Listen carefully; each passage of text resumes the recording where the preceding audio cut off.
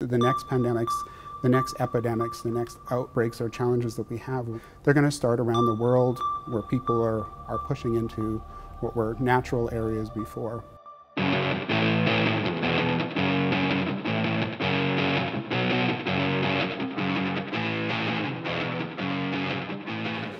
So when I think about uh, containment labs, I think about hazardous materials, people in suits, you know, um, biomaterials. Uh, can you talk about what actually goes on in the containment lab at U of T and how is it that the, the containment lab was ready to take on a pandemic?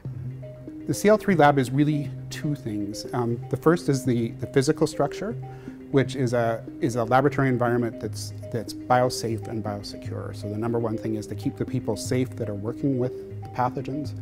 And the other is to make sure those pathogens never leave there. And then the other part of the CL3 is really the people. And this is the expertise that goes into handling these pathogens. And we were able to respond to the COVID pandemic, for example, because we had the facility operating but as much as that, we had expertise that was able to work with these types of pathogens. We had trainees, senior graduate students, we had postdocs, we had research associates, we had technicians who were studying other pathogens. So they were not studying SARS coronavirus 2 because we'd never heard of it before.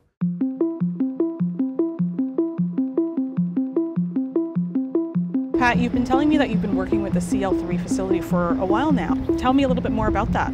Yeah, so initially in the level three, I actually was uh, an HIV researcher. So I was part of Mario Ostrowski's lab, and there I was doing a bunch of like patient-based uh, analysis. So the day-to-day -day at the very beginning was very, very brutal. Constantly monitoring all the samples like every 12 hours just to make sure, like, to see what's happening. It was very crucial to figure out like the timelines on how fast this virus replicates in the samples. When it comes to SARS-2, everything that we did basically led to some kind of change. It really kind of reinvigorated me seeing that all of these things that I do day to day, it actually translated and you can actually see people and doctors making decisions based on our data. When the first people in Canada became infected with COVID, these people were, were treated in hospitals within Toronto. And so the research group that was up at, at Sunnybrook Hospital was able to work with virologists at McMaster University in Hamilton and come down and work with our investigators in the CL3 lab to isolate this virus from these patient samples, from swabs that were obtained from these patients. And this was important because it let us start working with the virus almost as soon as, as, as it appeared in Canada. Protected, code blue. Attention please, attention please. Protected, code can you talk about the Emerging Pandemic Infections Consortium and how did Sunnybrook become a part of this? Sure. EPIC is something that we were involved in through our containment level three work, but also by virtue of the work that we're doing here at uh, Sunnybrook. So EPIC involves not only University of Toronto, but all the hospital research institutes as well.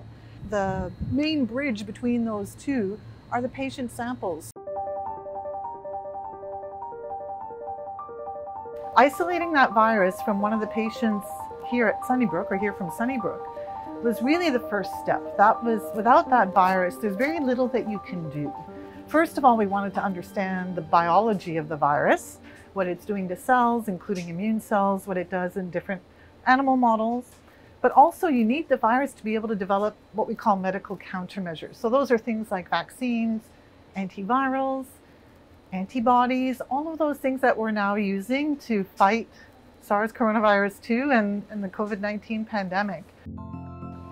Can you tell me what you're excited about in terms of the research work that you're doing at Sunnybrook Hospital? Sure.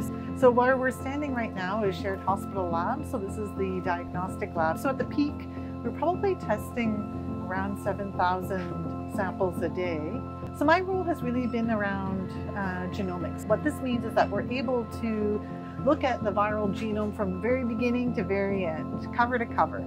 Um, a lot of the work we do is highly concentrated in the containment level 3 facility, so we've been looking specifically at transmission of the variants of concern. So pretty early in 2021, we really focused on isolating those variants, and we've been using those viruses to look at transmission and to share with others like we did the first one. This is the first coronavirus pandemic. It won't be the last. And I think we really need to have a firm appreciation of just virology. Like, what are these viruses actually doing at the cellular level, at the individual host level, and at the global level?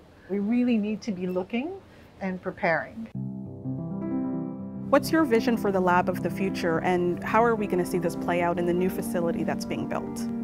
The University of Toronto and its hospital partners are coming together to build a, uh, an incredible new facility that will increase the capacity, the, the ability of the number of people that can work in this facility, the types of things that we can do because of the technology that's brought in, but also it, it handles uh, things differently. It's, it's subdivided differently in others individual groups can be working with different pathogens at the same time. And there's that extra level of security there. We know it takes a village to um, you know, come up with new discoveries, to do the research, to find things like new vaccines. Can you talk about the importance of having the clinician, the engineer, the chemist kind of all working on uh, you know, one research project and, and what does that sort of community collaboration bring to some of the work that you're trying to do here? So with the specific example of the Emerging and, and Pandemic Infections Consortium, this is people who had not thought about infectious disease, many of them before. They were mathematical modelers or chemists or others. And what we're trying to do is, is keep the momentum going and, and really be hopeful about the future. As this EPIC community comes together, we want them to be thinking about infection broadly. We want them to be thinking about the molecular biology that goes behind that. We want them to be thinking about aerosol transmission. We want them to be thinking about structural biology and developing new vaccines. We want them to be thinking about clinical intervention. And then even beyond that, the public policy and dealing with how do we roll out vaccines for everybody? How do we decide who gets vaccines? How do we manufacture these things? What are regulatory processes to get something approved to actually use it in, in humans? So that we can be surveying the world and, and, and looking for the potential dangers that are emerging. And so if we can keep everyone working together, we can really be much more quickly responsive.